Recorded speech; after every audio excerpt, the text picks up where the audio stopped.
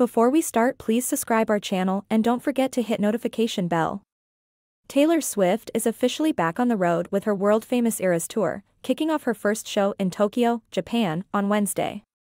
The The Love Story singer swiftly took the stage in front of a sold-out crowd at the Tokyo Dome Stadium, which holds 55,000 attendees. Prior to the show, several fans were spotted braving the snow in order to secure their spot in line for merchandise. The weather conditions have grounded several flights and derailed train schedules.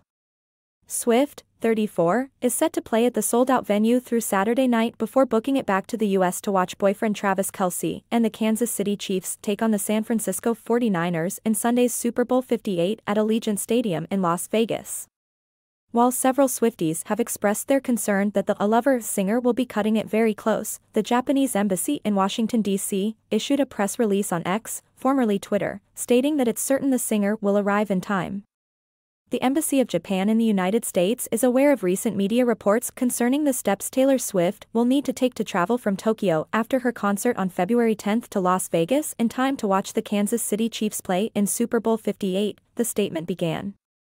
Despite the 12-hour flight and 17-hour time difference, the embassy can confidently speak now to say that if she departs Tokyo in the evening after her concert, she should comfortably arrive in Las Vegas before the Super Bowl begins.